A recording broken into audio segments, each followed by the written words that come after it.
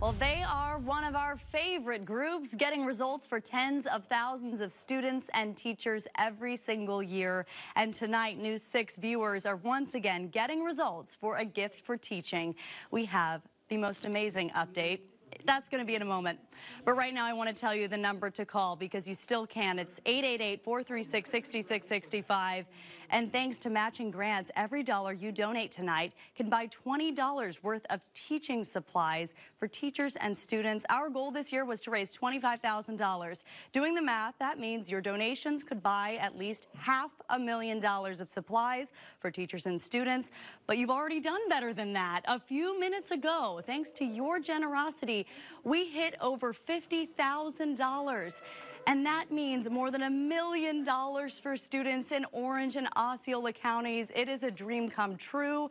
I'm joined now by Jane Thompson. She's the president of A Gift for Teaching.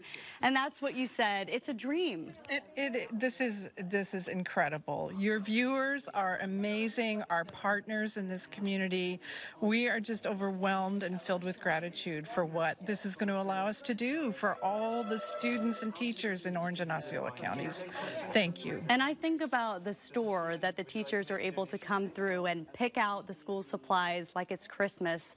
That store is going to be busting at the seams with all of these donations. That's right. And there are other ways that we reach teachers and schools and classrooms and kids as well. And so we are so thrilled. The need never unfortunately, the need never goes down. And so, thank you, thank you, thank you, everyone. This is truly unbelievable. I'm also thinking about the Pencil Box Express. That's right. And how it's filled up and it goes to different schools, That's... and that will be another way to collect resources and distribute them. And the other reason why this is such a dream is we know we need to expand that program, and this is going to really allow us to do this. So, oh, we're just, we're just, wow, talk about getting results. This is incredible. All right, Jane Thompson with a gift for teaching, giving us that dream come true moment. It really is magical, and our volunteers are still here until 7.30, so there's still time to donate.